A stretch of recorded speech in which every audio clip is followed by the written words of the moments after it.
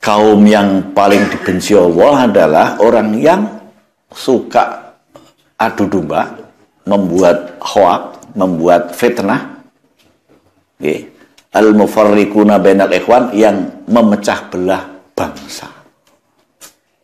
Okay. Wis to, saiki sing apik-apik ini ngopo sih? Kok kudu nganggo kejahatan gitu? Insyaallah. Nggih. Kok kaya wong jahiliyah gitu ya?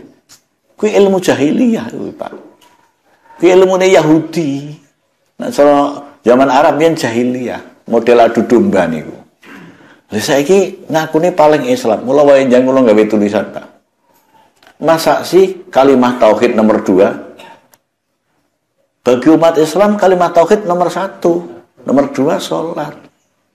Nomor tiga zakat. Nomor empat puasa. Nomor lima haji. Lawang ngakuni paling Islam kok ngurut ke rukun Islamnya kok iso.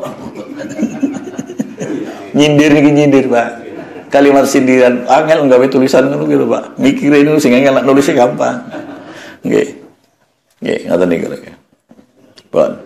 Kanjeng Nabi dawuh Allah taala duwe malaikat separuh zate niku digawe saka geni, separuh saka es. Tapi iso ruket antara es karo geni. Malaikat niku donga marang Allah. Iki nak jenengan kondungane nganten kena diwaca. Allahumma kama allafta baina salati wan nar kadzalika allafta kadzalika alif bainal arusaini ngono ora. Allahumma alif bainal arusaini kama allafta bainan nar was salati. Wa kama alafta baina sama wal ardi. Nggih. Kama alafta baina tin wal ma. Napa nggih? Kama alafta bainal jibal wal bihar. Nggih. Bainal jibal wal bihar ki nak cara bahasa Indonesia asam di gunung, garam di laut ngono lho.